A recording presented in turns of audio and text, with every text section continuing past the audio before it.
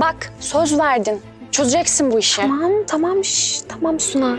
Tamam çözeceğim ben bu işi tamam mı? Sen hiç merak etme. Tamam. Hadi sen şimdi git bir gören duyan olacak hadi. Hadi sen git.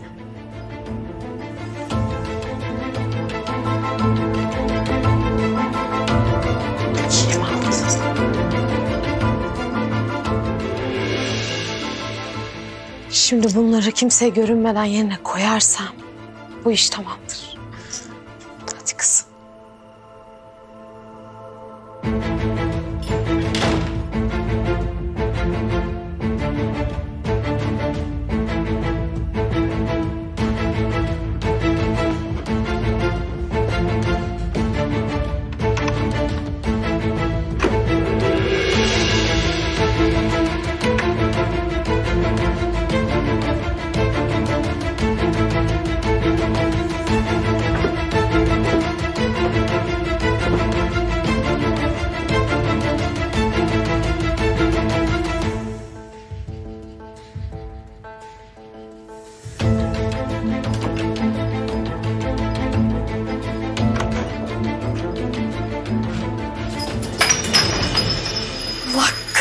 Kahretmesin seni Şehnaz. Of.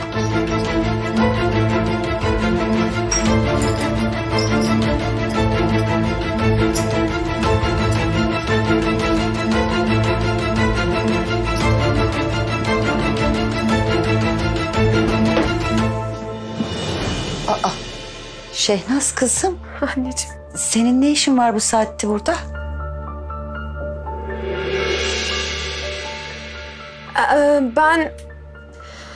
Anne öyle bir sanki çığlık sesi gibi bir şey duydum. Dedim acaba annem kabus mu görüyor? Şöyle bir bakayım dedim de. Yani odada yoksun öyle şaşırdım. E, su almaya inmiştim de ben çığlık falan duymadım kızım. Herhalde ben kabus gördüm ya anneciğim. Herhalde. Galiba. Ya bembeyaz olmuşsun, betin benzin atmış. Ah kızım git elini yüzünü yıka da bir dua et uyu. Hadi anneciğim. Ay Su- dur dur iyi misin? Al su iç. Ay, yok a- a- İyi misin? Hasta mı olacaksın sen? galiba. Her neyse ben gideyim. Allah sana rahatlık versin. Sana da kızım. Neyse.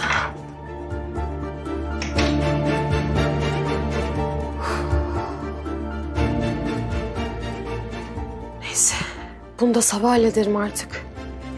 Ne yapayım? Of! Nevin annenin karşısında öldüm öldüm dirildim ya. Hayır zaten şu Gülce'yi evden göndermezsem bu Suna beni zaten öldürür.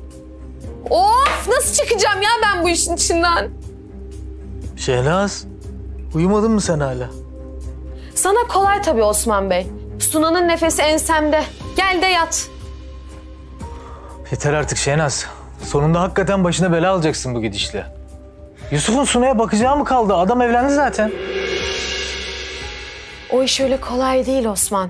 Onca altın borcu ne olacak? Bir yolunu bulur hallederiz. Sen git yarın Sunalara.